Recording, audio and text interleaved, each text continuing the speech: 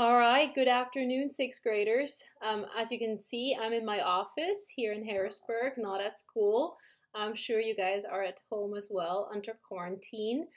Um, this is a little bit unusual and I'm a little bit nervous but also excited to be able to teach you guys remotely. So um, hopefully what I heard from the substitute teacher is that you guys finished the Han Dynasty. Um, you were able to do those stations together. You had four days for them, and it's my understanding that you finished them.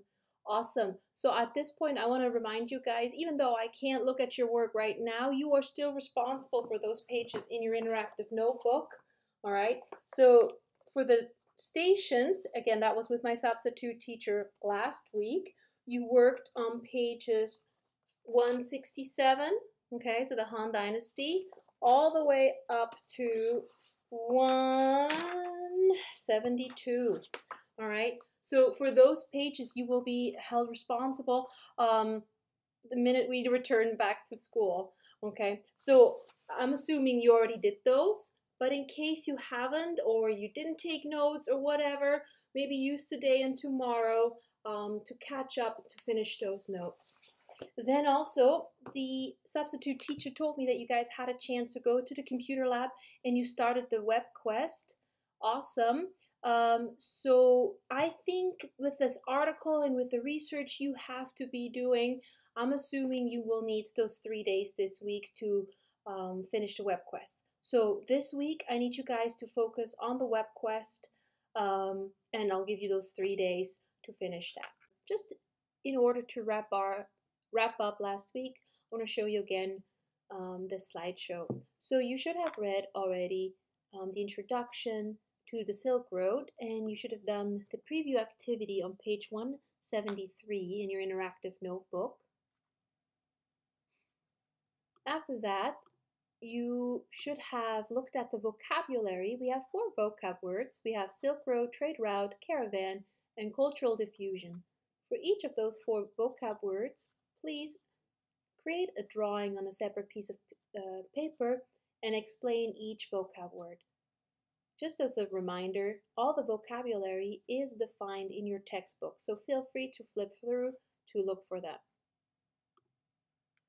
Alright, so again, you read the introduction, and after reading the introduction in your student text, the introduction is on page 255, um, you're answering the essential question, how did trade along the Silk Road lead to an exchange of goods and ideas?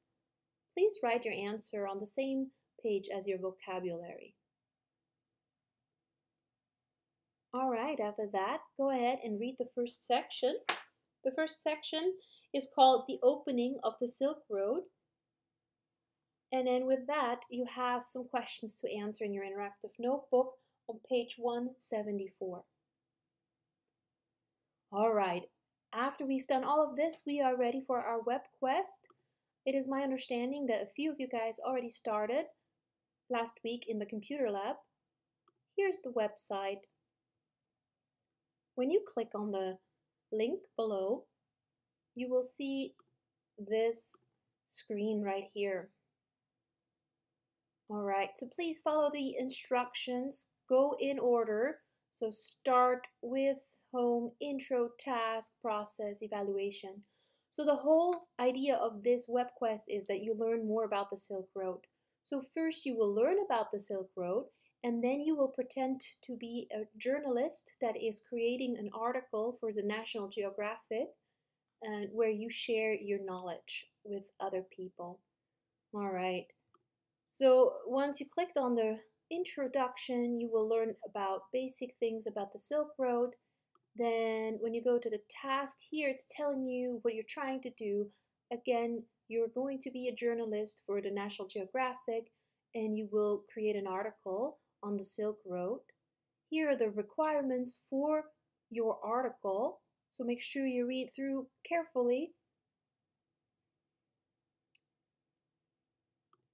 On the process page is where you do the most um, research. Here are different articles that help inform you. So you're expected to read those articles or videos and to take notes.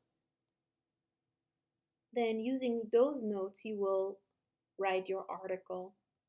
Okay, so use these resources.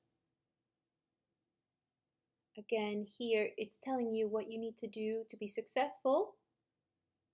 Okay, and then once you got that, this is the rubric on how you will be graded. And again, you will have Wednesday, Thursday, and Friday to complete this assignment.